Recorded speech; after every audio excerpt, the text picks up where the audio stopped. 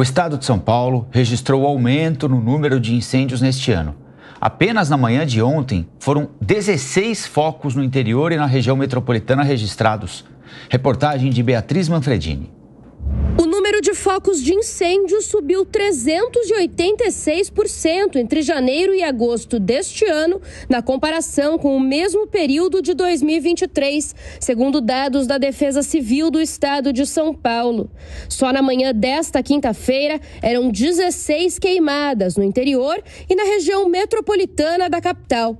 Tarcísio de Freitas afirmou que toda a estrutura do governo de São Paulo está focada em combater os incêndios. A partir de agora, 15 novas equipes da Defesa Civil trabalharão no estado, totalizando 34. O número de bombeiros atuando também aumentou de 57 para 102, um incremento de 80%.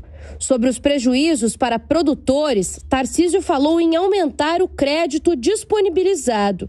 A gestão estadual afirma que cerca de 8.049 propriedades rurais foram afetadas pelos incêndios em 317 cidades toda a estrutura do Estado está sendo empregada agora no combate, né, no combate a esses incêndios. A gente está mobilizando a estrutura da iniciativa privada, carros-pipa, brigadistas, para ver se a gente consegue aí uma eficácia e correndo contra o tempo para evitar prejuízos maiores. No último domingo, o governo anunciou o fechamento emergencial de 80 unidades de conservação e parques localizados na região metropolitana e no interior do estado.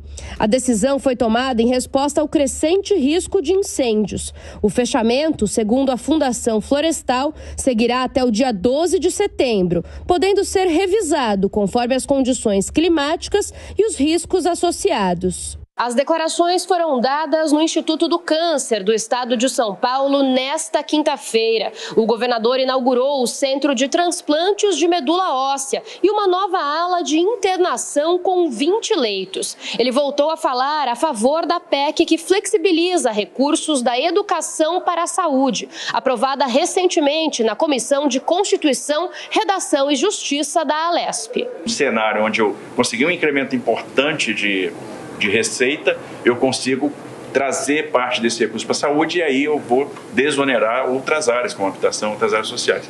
Né? De maneira que os 42% sejam né, o patamar de gasto mínimo para educação e saúde, eu tenho essa flexibilidade de 5%.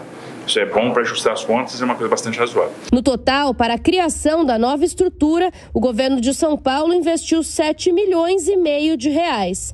O local vai poder realizar cerca de 300 novos transplantes por ano. Segundo Tarcísio, há previsão de entrega de mais 264 leitos nos próximos meses.